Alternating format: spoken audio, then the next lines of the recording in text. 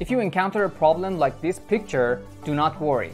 This is because of the high pressure gas in the torch. Just simply use the red inflation tool to release the gas from the torch and then refill the torch with the butane gas and let it rest for 5 to 10 minutes. Do not use this torch against other people. It is very dangerous. And also do not use this torch more than 5 minutes continuously.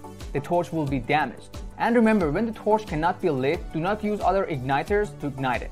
And when you encounter any problems, do not disassemble this torch by yourself. Always ask professional to do it for you.